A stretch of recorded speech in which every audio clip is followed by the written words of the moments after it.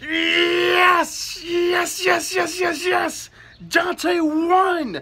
He freaking won! I'm just kidding, I'm just kidding. I'm a Dante fan, but I'm not that big of a Dante fan. I'm glad he beat Bayonetta. It was a pretty damn good fi fight. Kudos to you, Wiz and Boomstick. That was awesome.